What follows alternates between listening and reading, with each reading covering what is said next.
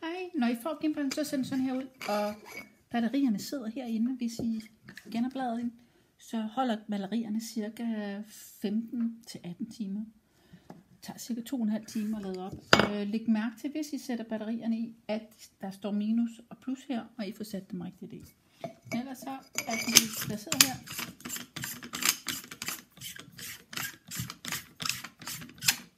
Og skruet på plads. Det, som der er vigtigt, er, at I får sat kameraet på ordentligt. Og øh, det gør I her. Når kameraet skal sættes på, er det øh, på den anden side det her. Og placer den lige ved stregen. Ups. I den øh, og kameraets linse skal vende ud af mod de her to skruer. Sætter vi kameraet på her.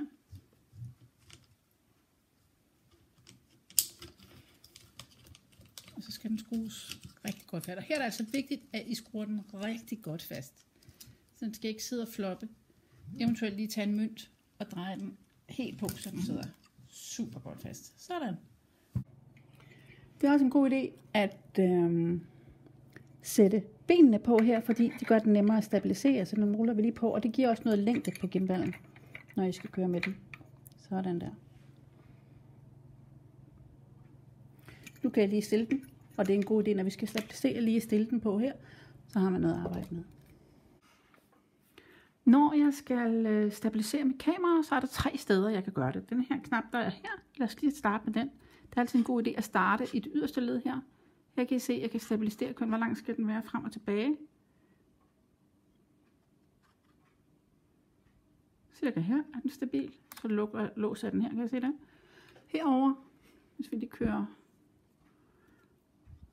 Herover kan I se, her har jeg også en, en, øh, en skruedims.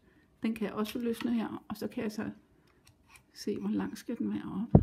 Så den, der skal den faktisk her hos den her være ret langt nede, men jeg kan sætte den op alt efter, hvor tungt mit kamera er. Lige den her har, hænger mere stabil hernede. Og så den sidste, det er den her over. Øhm, og her igen kan jeg løsne og se, hvor langt skal den være inde.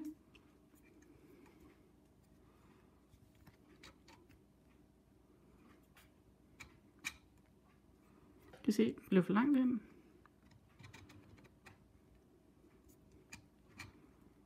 Sådan, der var den. Så låser vi simpelthen de her fast. Sådan, så er den stabil. Lad os kigge på de forskellige modes. Først skal vi tænde for den. Det gør vi på den røde knap her, ved at holde den inde et øjeblik. Sådan der, så tænder den.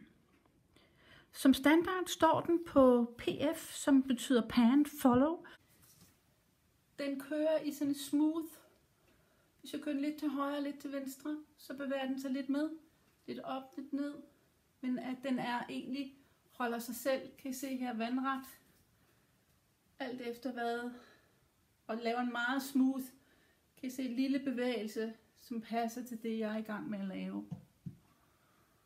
Bum. Jeg kan holde den op fra. Jeg kan holde den ned fra. Og I kan se, at jeg har foldet benene ind her og bruger dem som en ekstra. Jeg har også mulighed for at lave lock mode, og det gør jeg ved at trykke på mode en gang. Sådan, så kommer det til at stå L. Og lock her som mål, så, så låser mit kamera på mit motiv, det vil sige den retning, øh, mit motiv står, og så kan jeg ellers bevæge mig i forhold til det, så følger gimbalen det. Lige meget hvordan jeg bevæger mit kamera, så holder den den retning, jeg har sat på. Lige viser jeg her en øh, funktion her, når den står i øh, lock mode. Øhm, altså L. Så er den altså ret fed at styre her med. Kan I se her, man kan lave nogle virkelig smooth kamerabevægelser her. Som virkelig er lækre og smooth. Det kan godt anbefale bruge fjernbetjening her til at styre den op og ned.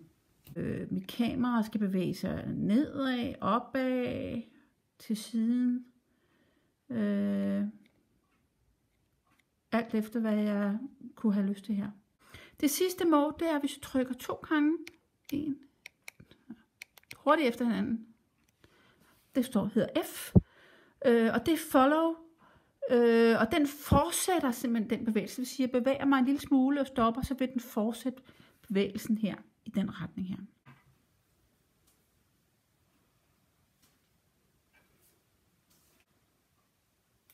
kan altid trykke på mode, den kommer på PF igen, og så kommer den på plads. Altid vandret.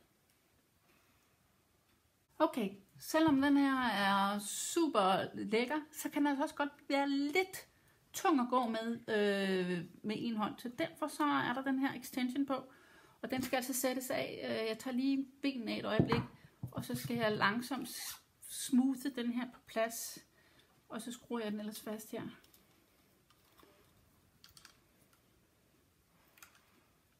Og det giver mig, og særligt hvis man bruger den meget i, hvad hedder det, panmode, så giver det altså simpelthen noget stabilitet og noget øh, lethed.